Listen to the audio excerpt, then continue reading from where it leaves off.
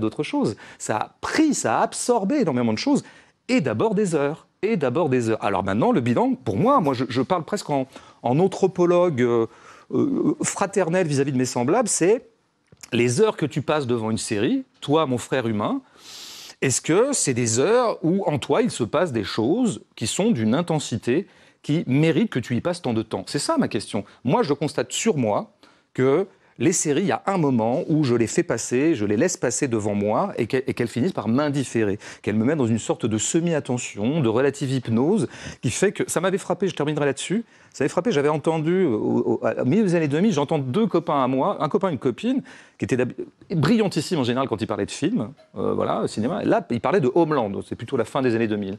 Et là, je l'ai trouvé d'un seul coup extrêmement nul dans la critique. C'est-à-dire qu'il ne disait pas un truc intéressant. Et je m'étais dit, mais en fait, est-ce que cette forme-là ne finit pas par désarmer tout geste critique? Parce que je voudrais aussi dire, je suis un peu trop long, pardon, mais que vous disiez qu'on ne peut, on, peut pas rater des épisodes de Mad Men ou parce que c'est euh, feuilletonnant.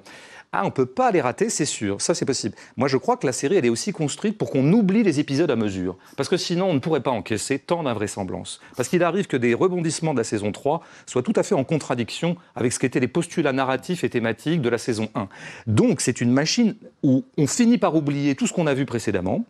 Et, surtout, il faut oublier ce qu'on a vu précédemment, sinon on n'encaisserait pas autant d'invraisemblance. Donc je pense qu'en dernière instance, on ne peut pas avoir un geste critique véritable sur, sur huit saisons de série, dans la mesure où on ne peut pas se représenter dans son entièreté euh, une, euh, une série, puisque tout est fait pour qu'on l'oublie à mesure.